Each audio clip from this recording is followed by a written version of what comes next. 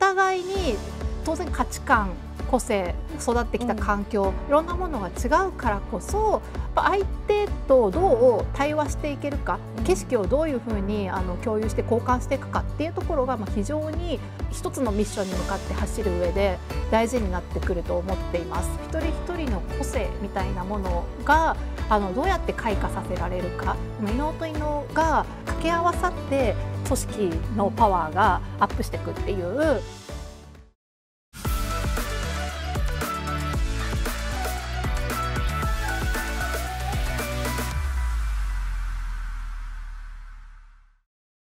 Beyond Diversity 企業が今本気で取り組むダイバーシティ戦略についてジャーナリストの浜田恵子さんとともに深掘っていきます。浜田さんよろしくお願いします。よろしくお願いしますそれでは今回のゲストをご紹介しましょう。株式会社ユーザーベース取締役 Chief People Administrative Officer 松井忍さんです。よろしくお願いします。よろしくお願いします。よろしくお願いします。えー、我々ニュースピックスの親会社でもあるユーザーベースは経済情報で世界を変えるをミッションに掲げまして世界中のビジネスパーソンの意思決定を支える情報インフラを提供しています世界4カ国に拠点を持ち17カ国の国籍を持つメンバーが所属しています。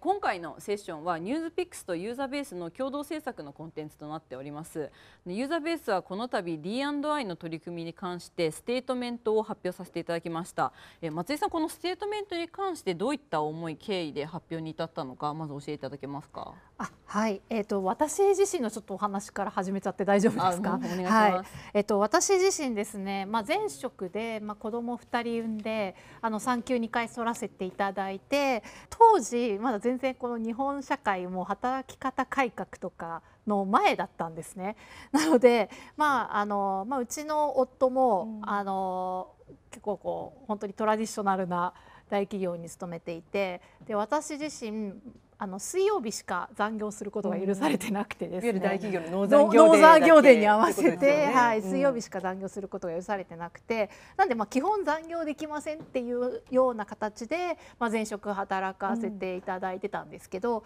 やっぱそうするとですね、すごくあの周りはまあ皆さん基本いい人なので、あのはい遠慮と配慮ってすごく違うなと思うんですけど、あのまあいろいろ配慮をしていただき、えー、結果としてなんか同期と比べた時にすごくなんか自分自身まあ成長できるような仕事を任せてもらえないケースとかも、まあ、多々あったりあとは例えば夜の会議がすごい多かったりとか、うん、なんかそういう、まあ、働き方、まあ、当時まだ、うん、あのそういう状況だったんですね。でそういう中ですごくこのうん、やっぱり私の中ではやっぱこう遠慮はしてもあ配慮はしても遠慮はしないでほしいなっていうのがあって、あのそれぞれがどう働きたいかっていうのはそのカテゴライズできないものだと思ってるんですね。例えばワーキングマザーで残業できないから難しい仕事はしたくないっていうわけでは全然ないと思っていていろんなオポチュニティはあればやっぱりやってみたいって思ってましたし。なのでちょっとそういう前職の結構思いがあって自分自身もま苦労してきたところもあります。であの、まあ、その時にすごく感じたのが、まあ、結局私一人頑張っても、うん、世の中が結局私の場合は例えばその夫の会社がどういう、うん、これ男性社員に対してどういう働き方がまあなんていうの OK かというか、うんうん、あのっていうところにもすごく寄ってくるなって思っています。ユーザーベースに来てみていわゆるその制度的な面とかではすごく働きやすい会社だなって思ったもののあの一方でまあ形がないというか、うん、まだまだこの本当スタートアップで当時私が入った時って70人の会社でうん、であの私自身ワーキングマザー第1号としてこの会社に入っていてであのそういうなんか形がないロールモデルがいないみたいなあの状況だったんですね。でなのであので今や結構すごくあの働きながら子育てしながらっていうのは、まあ、男性も女性もすごく増えてきてあのそこは一つすごくいいことだなって思ってるんですけどやっぱりあのそういうふうにやっていく中であのなんていうんですかねこういう自分自身が経験してきたこととかあとみんなの経験値みたいなものとかをやっぱもっとあの本当いろんなこれ別に私のケースでいくと私はまあ女性でありうん。ワーキングマザーであったっていうケースですけれども、まあ、いろんな多様な価値観働き方の人がいるので、えっと、そういったものをもっとこうみんなであの全員みんながこうモチベーション高く、うんやっぱりなんかストレスなく働けるようなところを作っていければなっていうふうに思っていてでそのためにはやっぱなんか一企業の中での施策では限界があるなってうん思ったんですね。なので、まあ、今回そのユーザーベースが、えーとまあ、同時にこの D&I ステートメントというのを世の中に発信させていただくんですけれどもこれはまあ経営の意思を込めたユーザーベースとしてのコミットメントでもあり、えっと、かつ、まあ、結果としてこういうムーブメントが、まあ、世の中のいろんな会社に波及していき、えー今すごく皆さん取り組まれてると思うんですけれどもあのこういったまあ個人の経験とか、まあ、ロールモデルとか、まあ、そういったものも含めて世の中のムーブメントになっていて、まあ、ひいてはこの働き方改革っていうものも、まあ、賛否両論あると思うんですがやっぱり日本社会の働き方すごく変えたと思うんですね。うんなのでこういったことがあの何かややっていければと思って、まあ、今回の企画を、うん。まあ、ニュースピックスと一緒に、あのさせていただいたっていう経緯があります。すみません。ちょっと長くなってしまったんですが。えー。あのまあ、本当に今まさにこう日本全体でっていうところがあったと思うんですけど、まあ、こういうふうにこう会社がこうステートメントを出すっていうことはやっぱりあの前向きなのかなと思うんですけど、うん浜田さんどう思いますか？そうですね。やっぱりその会社としてとか例えば経営層としてですねこういったうちはやりますってことを、まあ、宣言するっていうのは社会との約束になりますよそうでね。はい。なので逆にやらなかった場合にあの時言ってたじゃんってなるので すごく勇気のいることでもあるけれども、はいでもやっぱりそのすごく大事なことだと思っていて、やっぱりやってますやってますっていうだけじゃなくて社会に対して特にやっぱりユーザーベースの場合はニュースピックスというメディアも持っているので、そのメディアも含めて、まあ、自分たちの会社はこういう姿勢でこういうことに取り組んでますっていうのを発信されるのはすごくやっぱり意味のあることだと思います。そうですね。まああの一方でおっしゃっていただいた通り、我々も課題もたくさんあるので、うん。まあそういったところももう包み隠さずですね、あの出していき、でやっぱりなんか改善していくというか、よより良くなっていくっていうの、ところのまあプロセスもちゃんと見ていただくっていうことも、まあその我々にとっても大事だし、えー、と社会を変えていくっていう意味でもなんか別にみんな完璧なわけじゃないので、あもう本当にそのリアルな姿をあの見ていただくっていうことは意味のあることかなっていうふうに思っています。なるほどありがとうございます。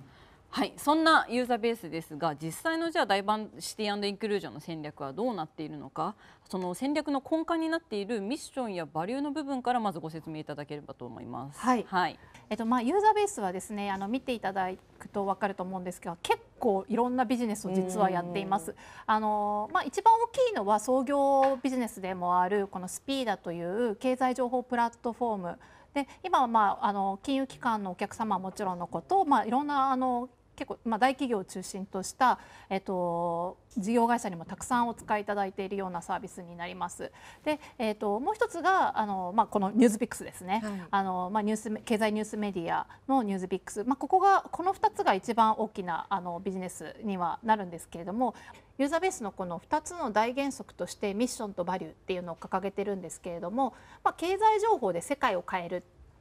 あのまあ、結構ちょっと壮大な ミッションなんですけれども、まあ、ここをですねあの全グループあの共通のミッションとしてまず持たせていただいていましてであの、まあ、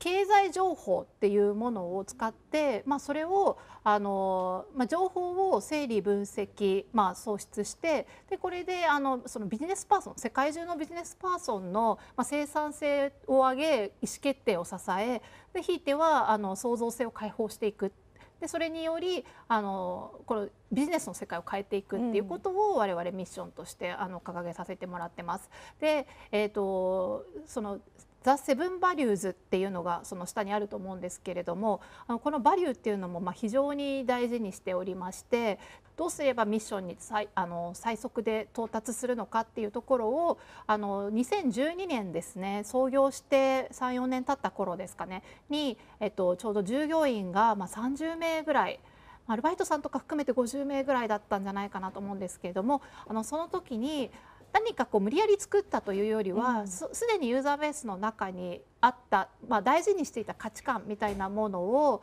あのみみんなで話し合って集めて、まあ、言語化して、であの作ったものなんですね。で、まあ、今回そのダイバーシティっていうところでいくとですねこの異能は才能ってあの英語で言うと「We need what you bring」って書いてあるんですけれども、うん、あのここがまあ本当にあの大事にしているところでしてこれはユーザーベースの、まあ、人事制度の中とかにも全てこうこのバリューっていうものが反映された人事制度になってるんですが特にこの自由主義でいこうと異能は才能っていうところは非常にあの人事制度と密接にあの結びついているところだなっていうふうには思っています。うん、じゃあなぜあのこの異能は才能っていうのを掲げているのかっていうとですね、まあ、ユーザーベースは基本的にはプラットフォーム型のビジネスをやっていきたいって思ってるし情報という非常にこうセンシティブなものを、うん、あの扱ってる会社なんですね。でそうなった時にこのプラットフォームを作るには先ほどのまあ多様な人材っていうのがあの必要になってきます。そしてまあ情報っていうセンシティブなものを扱っているということはやっぱりこの情報のもを整理分析する我々のあので発信していく我々の側にやっぱりあの多様性がないと何かに偏った情報になってしまったりとかっていうことがあるのでこれはあのミッションを達成していくために本当多様性ある組織であるっていうことはもう本当にマストだなっていうふうにあの考えてでこの異能は才能っていうのをあのバリューの中に入れさせていただいてます。ここに書いてあるんですけどもその異能は才能ってただそう簡単ではなくてですね異なる個性の人たちがやっぱり集まってあのじゃあどうやってその、まあ、健全なコンフリクトを起こして、どうやって組織が伸びていくかっていった時に、まあ、一番キーになるのがコミュニケーションの力だなっていうふうに考えていてでこれをあの私たちオープンコミュニケーションっていう言葉で社内ではあのよく使われているんですけれども。えっと、ちょっとここのところがあのオープンコミュニケーションっていうところでやっぱりあのお互いに当然価値観個性育ってきた環境、うん、いろんなものが違うからこそあのやっぱ相手とどう対話していけるか、うん、景色をどういうふうにあの共有して交換していくかっていうところが、まあ、非常にあの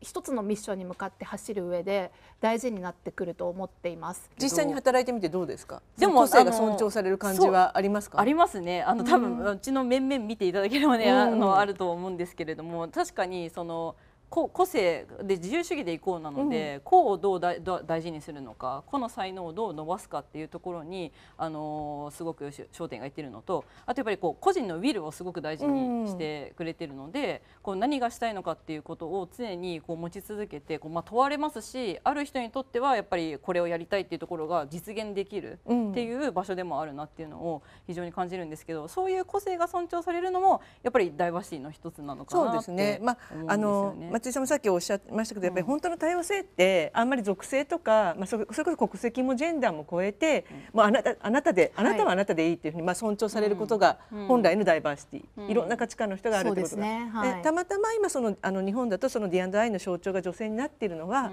そこすらできてないから、ね、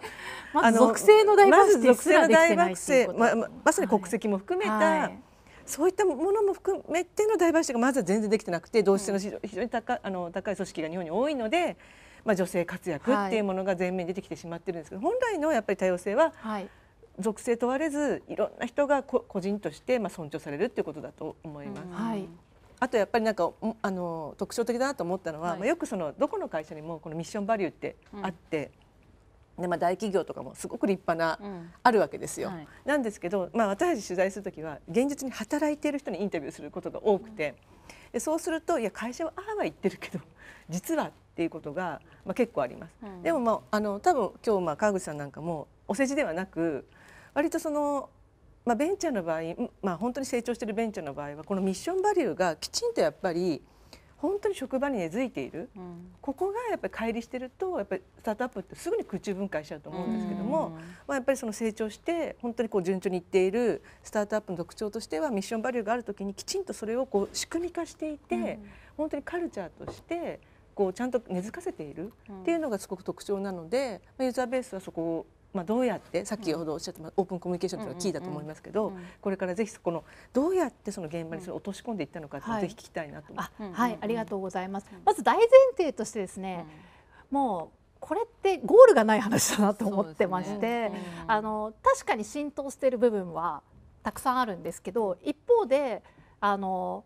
まあ難しいですよね。なんていうの、答えがない、ね、答えがない世界なので、えっと、浸透してない部分もありますし、ね、あとやっぱり規模が大きくなっていくと同時に、はい。はい、まあ、初期の頃ってこのミッションバリューって共有しやすいと思うんですけど、はい、どんどんやっぱ規模が大きくなってもその濃度を保つっていうのがすごく難しいですよね。難しいですしなんかまあ一種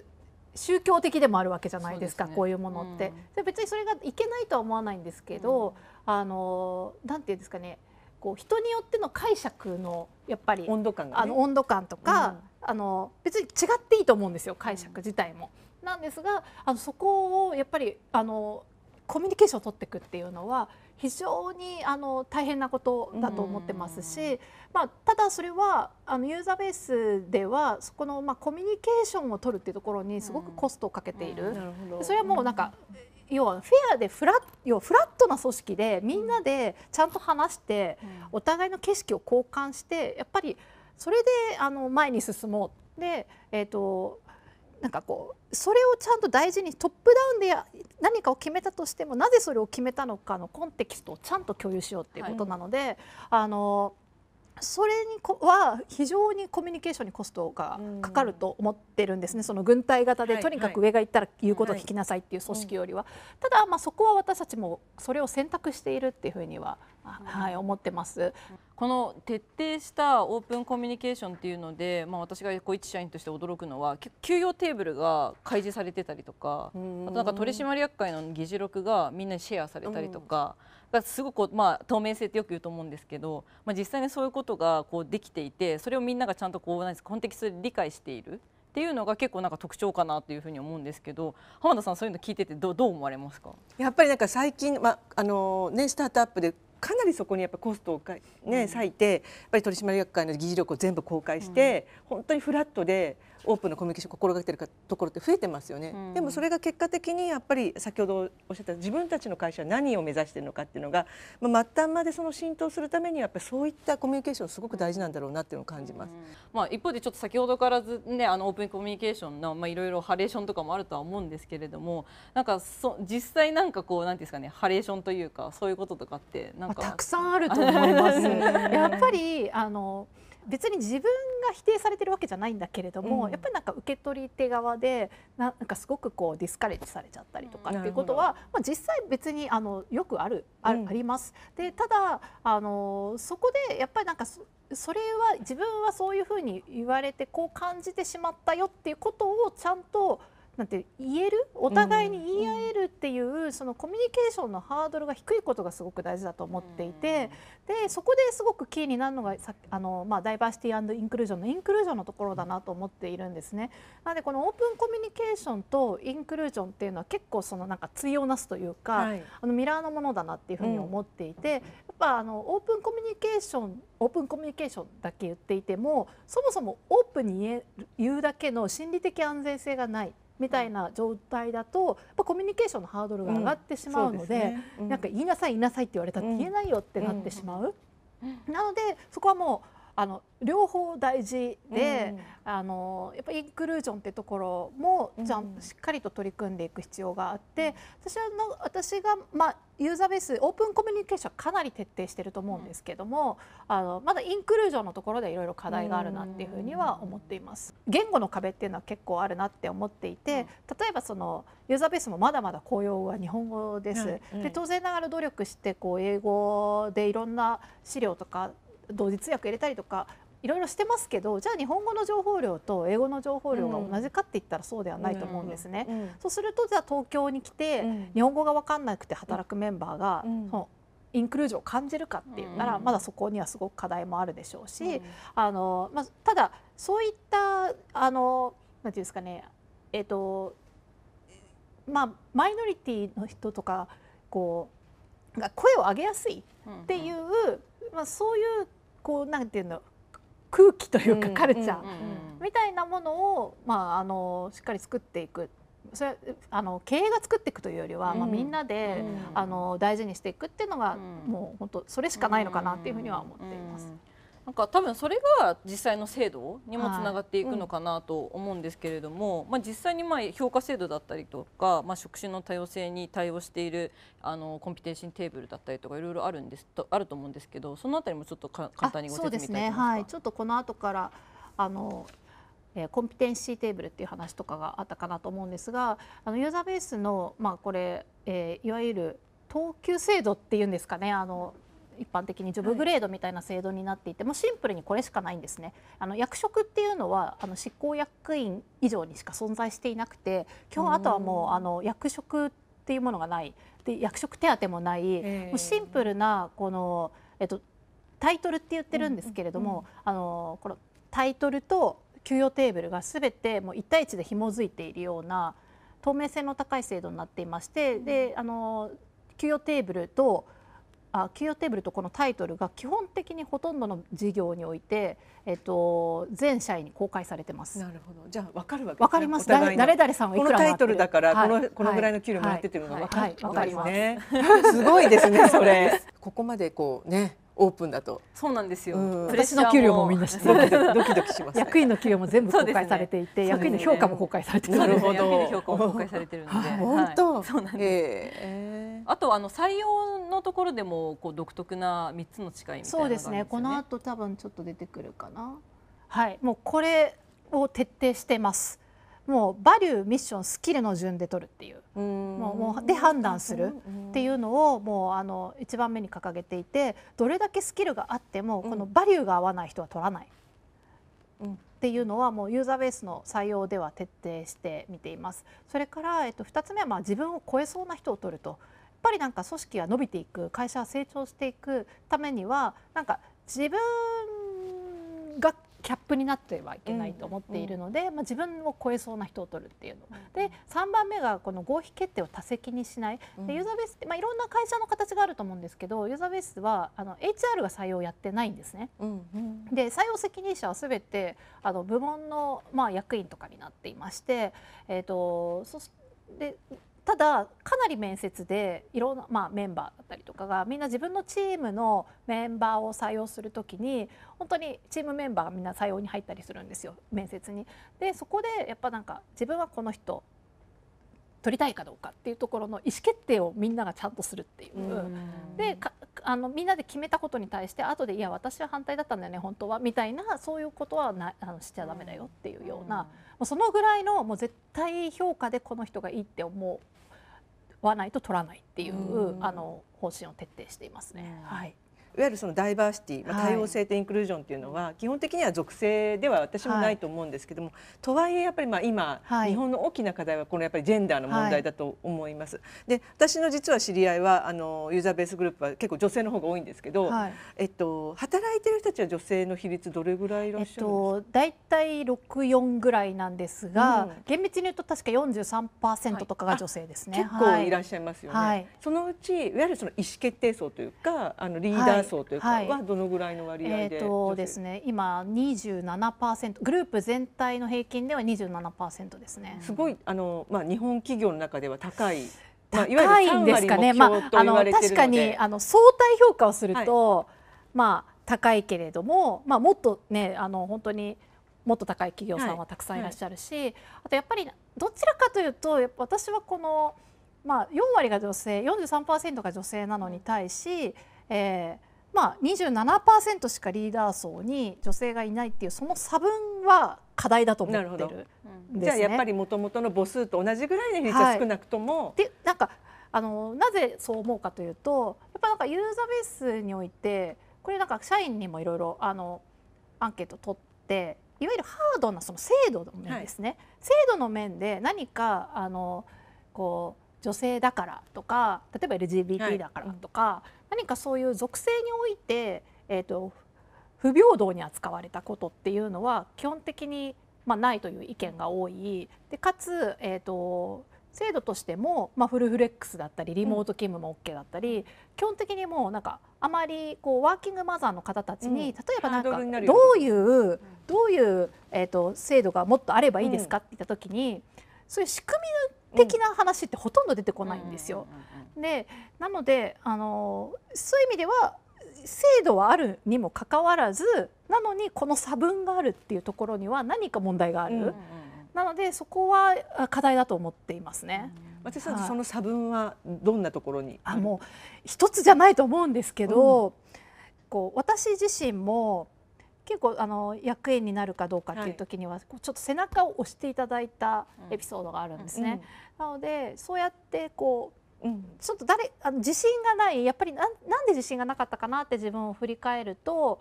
やっぱ仕事以外にやらなければいけないことがたくさんあるからなんですよね。あのさっきのまあ子育てもそうだし、はい。家事もそうだし、でまあ今日本社会のまだ現状として、うんあの確かデータも出てたと思うんですけど、やっぱなんか家事そうですね家事育児の負担がやっぱ7割が女性によっているという、まあ現実がまだはいあるわけじゃないですか。でそこを見た時にやっぱり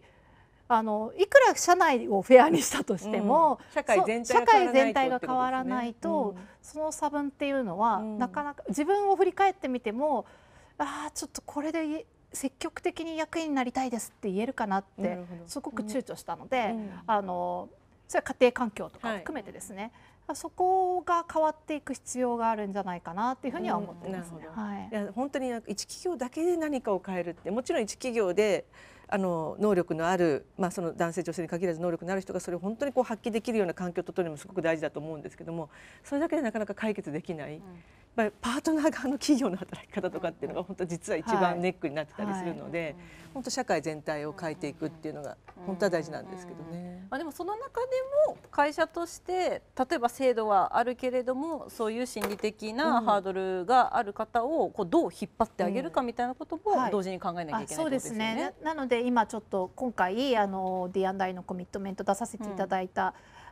のもそういう理由によるものはあってやっぱ会社としてもそのまあこれまあ女性に限らずなんですけれどもそのリリーダーシップ要はリーダーシップ研修みたいなものとか、まあそのやっぱ勇気を与える背中を押すうんスキルをちゃんとこうあの身につける機会を提供するうんみたいなことっていうのはどんどんやっていかないと、あのいけないなっていうところとかですね。なんかそうですね。あとはさっきのまあ社会的な課題に対して会社ができることとしては、うん。じゃあもう少しその男性が育児休暇を取りやすいような形で、まあ、パタニティリーブみたいなものをもっと積極的に設けていくとか、あのまあ、そういったことは今あの会社としてはやっていきたいなっていうふうに思ってますね。うん。はい。私あとこれ会がないんですけどずっとモヤモヤしているのがあのこれちょっと会社とは関係ない個人的なことなんですがモヤモヤしているのがそもそもこのどういう人が評価されて上に上がっていくかっていう基準そのものがそもそも歴史的に男性社会の中でできてきたものなので、はい。あの今こうそ今ビジネス界で活躍されている女性って、まあ、結構多かれ少なかれそこに自分を合わせにいったっていうのがあるんじゃいないかなって思っていて、なんかこれが本当に50-50になった時に何かそのリーダーシップのあり方って変わっていくのかなっていうのがはい。ただ会がないんですよ。実例がないので、うんただなんかちょっとそうそういうところではモヤモヤしてますね。いやでも本当にあのすごいおっしゃる通りで私もずっと編集長無理と思っていたので、はい。でもそれはなぜかというと男性の編集長しか見てなかったからですね。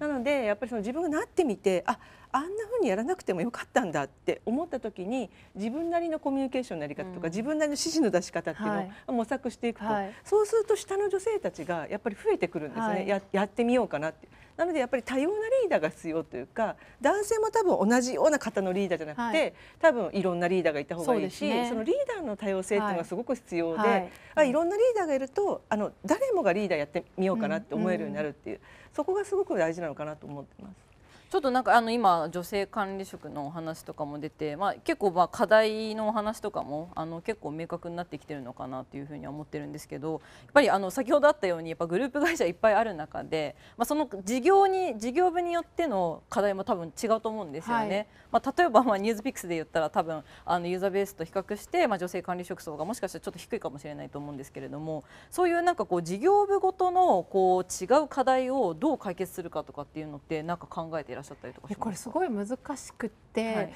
ビジネスの特性っていうのもあると思うんですよ、はいはい。本当に。はい。例えばなんですけど、まあ、エンジニアさんで見るともう圧倒的に男性が多いんですよね。でそもそもなんかすごく意識して採用しないと、うん。多分女性って採用できない。うん。であのー私自身会計士なんですけど、うん。会計士における女性比率ってそもそも合格者の中で2割なんですよ。でその2割の人たちをから募集団もそもそも少ないところを、結構難しいじゃないですか。それを同じ数にしようと思うと。でまあ、あのそういう意味ではその職種間のばらつきっていうのは一定あるかなとは思うんですけど、ただまあニュースピックスに関して言うと、まあ、ちょっとおっしゃっていただいた通りであのユーザーベースの中でもユーザーベースグループの中でも結構そのビジネスによってあのこのジェンダー比率とかっていうのはばらつきがあります。うん、で、まあ、ユーザーベースは実はもう30%超えてるんですね女性管理職比率っていうのは。うん、なんですが、まあ、ニュースピックスがまだ全然まだそこまでいっていないっていうのもあの実態としてあってですね、であのまあ、そこは本当に変えていかないといけないし変える意思もあるけれどもなんか、まあ、無理やり女性を取るっていうものでもないと思っています。すねうん、なので、まあ、どれだけ例えばリーダー層の採用の時にちゃんとこうポテンシャルプールの中にその募集団の中にそういう女性を入れて入れることを意識できるかとか、ね、まあ本当そういうところから始めていかないといけないし、うん、あとまあニュースビックスもえっ、ー、と4割は女性なんですよね従業員。なのにやっぱりあの意思決定層になって。くるとあの他のグループ会社に比べて少ないっていうところは多分何か課題があるはず、うん、なのでえっと今まだ会は持ってないんですけれども、うん、えっ、とまあえっ、と今回もですねそのダイバーシティに関するアンケートとかを取った時ニュースピックスからすごくたくさんあの回答をいただいているのでそういったところの個別のヒアリングをしていて、うん、あのまあ、課題を特定して何か組織的に解決できる問題であれば、しっかり会社として対応していきたいなっていうふうには思ってますね。うん、浜田さんやっぱりメディアっていうまあ特性先ほどエンジニアとかそういう特性もある、ね、影響してるっておっしゃったと思うんですけどやっぱりそういうメディアっていう特性っていうのもやっぱりあると思いますね。まあニュースピックスの中でも多分エンジニアの比率もそこそこいらっしゃいますよね。はい。ね。まあだからそこがどうしても、はい、あのジェンダーバランスが男性に偏ってしまうっていうのもあると思うんですけども、メディア業界そのものがやっぱり非常に女性の管理職が少ないという業界の問題もあると思っています。はい、それってなんでなんですか、ね、やっぱり、ね、長時間労働です。一つは。もう圧倒的にまあだいぶ最近新聞テレビもこの長時間労働なんとかしなきゃいけないっていうふうに変わりつつありますけども、それでもやっぱりワーキングマザーたちがこれほどやっぱりあのなかなか働きづらいというかですね、まあ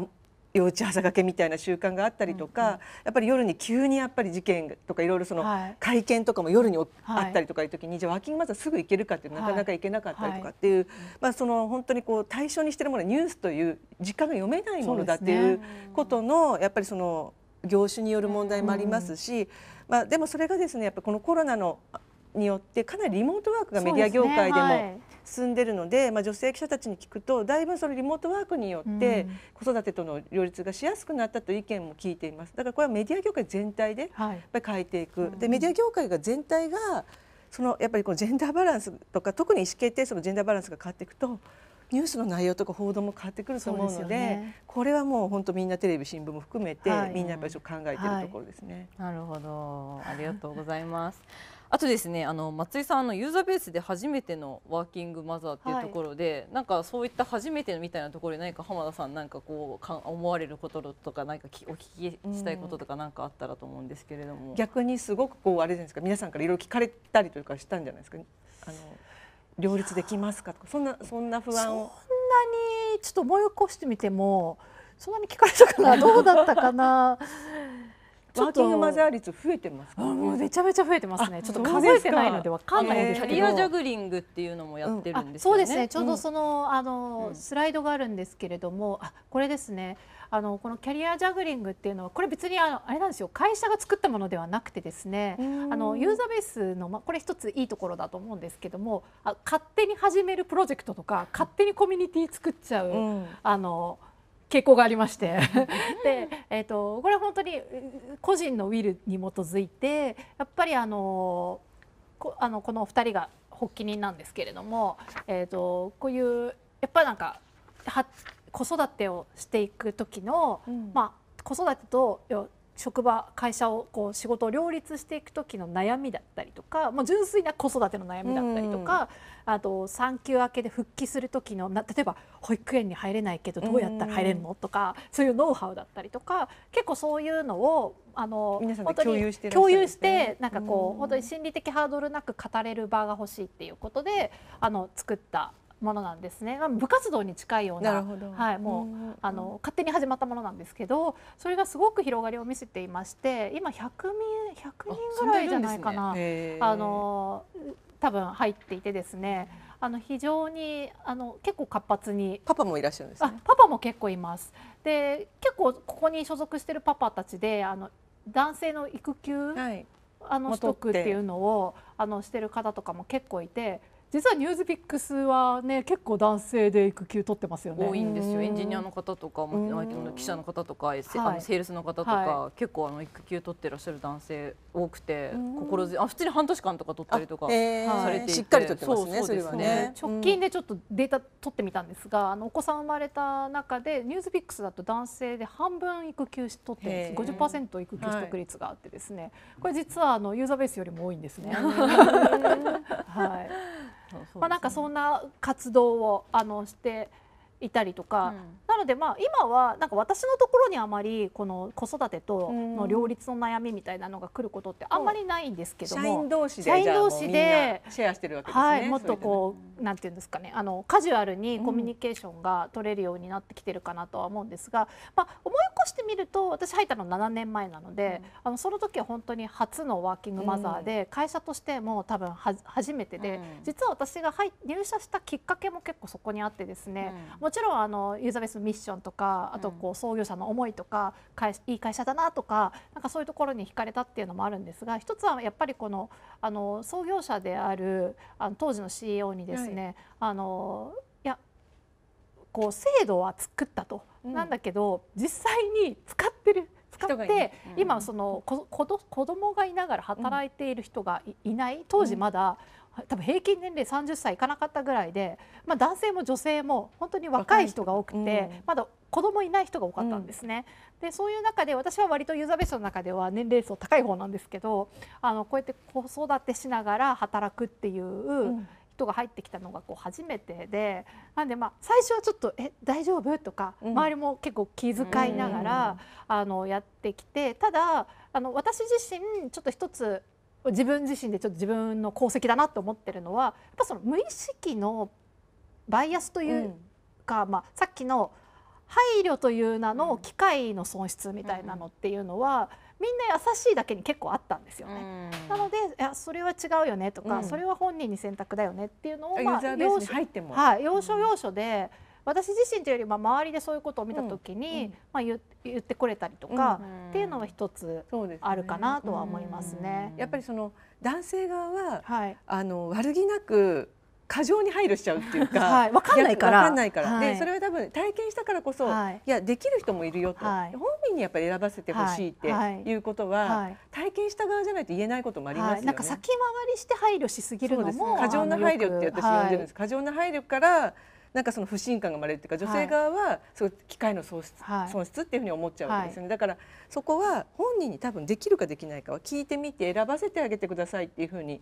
でそうするとやっぱりコミュニケーションをきちんと取るようにもなりますよね。やっぱそのワークライフバランスをあのどのぐどどのぐらいをどっち側に傾けたいかって人と時期によって全然違うと思うんですよ。違います。事情も違いまますよね。うんお子さんが病気がちとか、はい。そうじゃないかとか、はい。あと手助けしてくれる両、はい。ご両親が近くにいるとかいないとかっていうのも全然違いますよね。でまあワークアズライフで本当にもうミックスしてていい人と、うん。きっぱり分けたい人と、うん。いろいろいると思うんですよね。うんはなるほど、ありがとうございます。さてお時間が来てしまいました。えっとですね最後にあのこれからのユーザーベースが目指すところを総括として松井さんに教えてもらえれば、いや難しいですね。総括。はい、はい。そうですね。まああのーんなんていうんですかね。もう本当にこのイノワ才能っていうのは、もう2012年からずっとユーザーベース大事にしてきていることですと。ただじゃあ本当にイノワ才能になってるかっていうのは常にやっぱ自分たちに問い続けないといけないというふうに思っていてで先ほども申し上げた通り結果としてまだまだ、まあ、言語の壁だったりジェンダーの壁だったりっていうのが数値で見た時にまだまだあると思ってるしあのやっぱそこをしっかりとあの本当になんか差がない状態本当にイコールイコールな状態っていうのはあの作っていいきたいですね本当に行きたいそれもうそれしかないかなと思っていて、はい、メディアを持っていらっしゃるのでやっぱりそのメディアの力っていうのをやっぱりまあその分社会的な責任も大きいと思うので,、はいねまあ、メディアとしての発信も含めてやっぱりぜひあの D&I を推進していただけたらと思います。ありがとうございます。ちょっと私も一社員としていろいろ頑張っていきたいなと改めて思いました。はい頑張りましょう。はい、松井さん今日はどうも。ありがとうございましたありがとうございました。